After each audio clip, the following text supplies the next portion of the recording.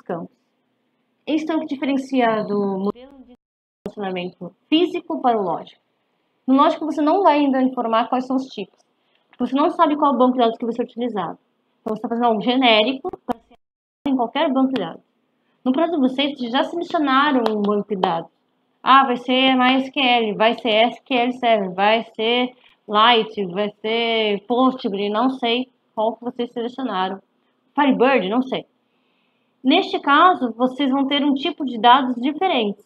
E você ou pode escrever, ou você pode selecionar. Neste caso, nós temos os tipos já referentes ao MySQL. Então, às vezes, pode não encontrar algum tipo em especial porque é um outro tipo de banco. Mas você pode usar essa ferramenta para desenhar o seu DR. Não há um problema nenhum quanto a isso. Vai acontecer que você não vai conseguir fazer algumas outras coisinhas que essa ferramenta tem como opção bacana. Mas isso também não vem ao caso. Então, explorando isso aqui. Vamos lá aqui. Data time. Data time. Vamos ficar assim. Não precisa necessariamente colocar, só coloca time, ok. É dia e hora. Ou só a data, vamos colocar só date para poder facilitar a vida, velho. Eu já que vou escrever, ó. Date. Viu? Ok? É... Ok, beleza, perfeito. Vamos criar nossa segunda tabela. Uma tabela... Não, vamos criar uma terceira tabela pela ordem, né? Só por nas casinhas. Essa tabela vai ser tabela de mercadorias. Eu gosto de falar produto, mas como já está com mercadoria no nosso enunciado, então mercadoria. Perceba que eu não uso plural, tá? Outra coisa, uma dica, não, como eu disse, não é, não vem ao caso, mas vai dar as dicas. Uma coluna para código, CD, mercadoria. Uma coluna para NM, mercadoria. Poderíamos colocar preço, valor, mas já perceberam que você pode escolher aqui os tipos e escrever ou não quando necessário. Né? Então, mercadoria. Eu posso vir aqui e falar 45, eu vou colocar 100, não tem problema nenhum. A interferência acontece, ok? Uma terceira, essa terceira tabela, o 1, 2, né? Vai ser intersecção. Costume. Isso é algo que vem de mim, ok? Trata-se de muitos para muitos. Muitas notas fiscais com uma nota fiscal pode ter muitos produtos ou muitos produtos podem estar com as notas fiscais. Eu posso escrever é, ao contrário, como tanto faz, mas eu vou colocar nota fiscais, mercadoria. Poderia colocar mercadoria nota fiscal também, não tem problema. Ou, para ficar mais técnico, item NF. Vai de cada desenvolvedor, né? Ok? Item NF. Item NF é, vai, vai receber as chaves de nota fiscal e de mercadoria. Nunca mais uma nota fiscal terá a mesma, é, o mesmo produto. Então, nunca eu terei uma nota fiscal número 1 com o produto 1, 2, 3. Nunca mais terei uma, a mesma nota fiscal número 1 com os itens 1, 2, 3. Poderia ter 4, 5 ou 6, não importa. Mas as, as colunas de código da nota fiscal e da mercadoria aqui, juntas, nunca podem se repetir. Elas se tornam uma chave concatenada. Mais uma vez, não é o core desta aula. Outra coisa, é... elas vão ser chaves estrangeiras e ao mesmo tempo chave primária da minha tabela. E isso nos atém. Professor, e se eu comprar dois chocolates? São o mesmo produto, ok? nós teremos então uma coluna chamada QT produto. Então, eu tenho o produto 1 vinculado à nota fiscal 1 e esse produto 1 eu tenho pedido, estou pedindo 10 deste produto. Então, vamos fazer essa ligação aqui, né? Vamos fazer a conexão, então CD NF CD underline mercadoria Percebam, temos que cuidar de estar utilizando o mesmo tipo, caso contrário, essa própria ferramenta já vai chiar. Ela vai falar assim, olha, não dá. Né? Vamos colocar como chave primária, ambas é uma chave concatenada. Vamos aqui também é, criar o nosso QT mercadoria. Só para ter mais uma coluna também, para vocês verem a diferença. Ok? que vai acontecer? NF vai receber as chaves como chaves estrangeiras dessas duas tabelas. Então, ainda clicado nessa mesma tabela, em Foreign Key, nós vamos criar a primeira constraint, a primeira, é, a primeira exceção, né? São as é exceções, a primeira restrição, perdão, a da restrição.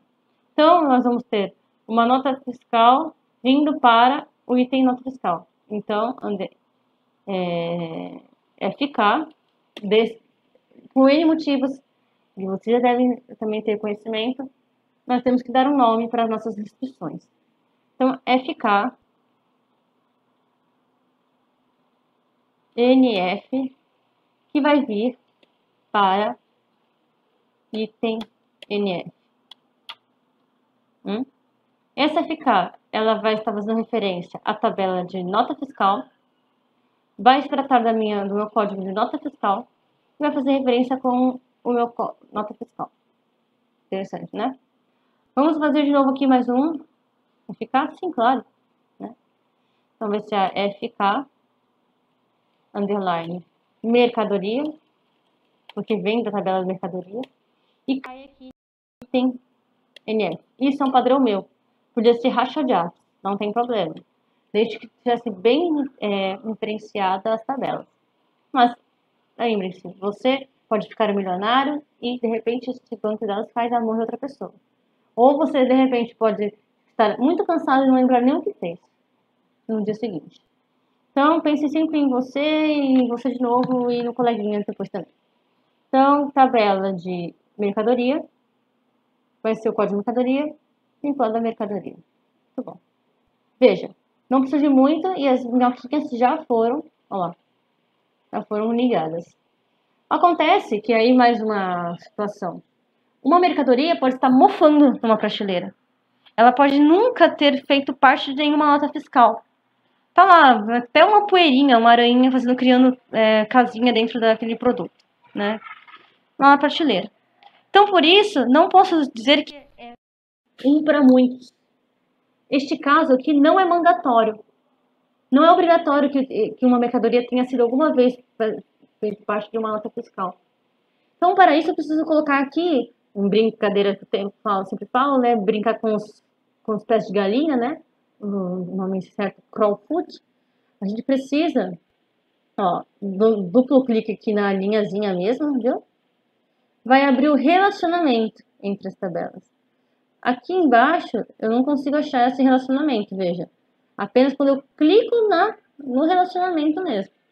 Então, no relacionamento, eu consigo dizer assim, é, aqui na minha foreign key, se ah, no lado da, da item nota fiscal vai ser mandatório ou não. Ok? Então, isso é importante.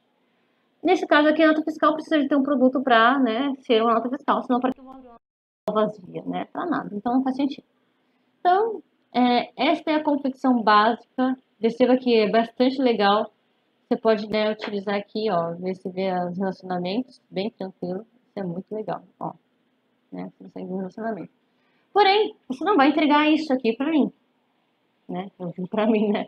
No seu caderno de TCC. Você vai entregar uma imagem, né? E aí eu dou algumas opções para você.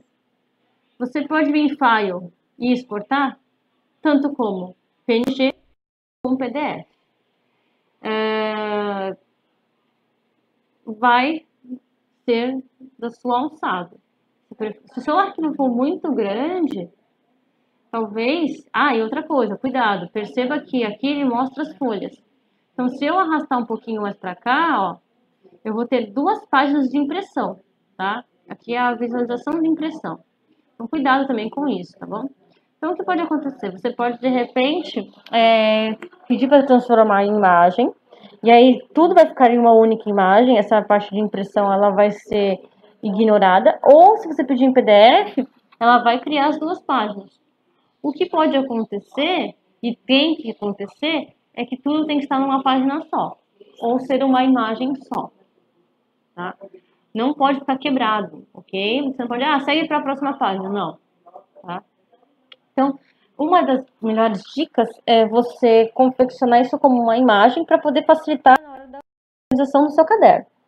Mas se você tiver uma certa experiência, ou você de repente for colocar o seu DER porque não cabe, e é um fato, realmente não cabe dentro do conteúdo do seu caderno, ele vai ficar com uma pence, cabe você de repente é, estruturar a, uma página, né? E como a gente está planejando entregar algo é, de forma de forma digital, você estruturar uma página fictícia, transformar tanto seu caderno e como também aqui exportar o seu DER em PDF e com a, o, a do, a PDF Phantom, se eu não estou enganada, você consegue, essa é uma coisa que eu utilizo, você consegue cortar o seu caderno TCC e incluir dentro do, como apêndice, né, este é, até porque não conta as páginas, então você não tem tanta preocupação com numeração de páginas, incluir esse é, documento como PDF. Incluindo como PDF facilita muito a vida também do analista que tiver, o professor que analisando, não, analista que estiver analisando, que vai conseguir dar zoom, se caso o seu DER for muito grande. Tratando de um projeto de TCC, ele vai ser grande, mas não vai ser no extremo. Então, acredito que se você também gerar uma imagem, colocar no seu TCC, também vai dar certo. Tá então, essa é a dica. É um material simples e, mais uma vez, repito, para terminar, os alunos que receberam a solicitação para entregar o DER, verifiquem se, eles, se vocês possuem um banco de dados no seu projeto. Caso tenha identificado que tem um banco de dados, mas não há, a, a, solicitação de um DER não se faz necessário, muito menos funcionalidades, ok? Então, tchauzinho.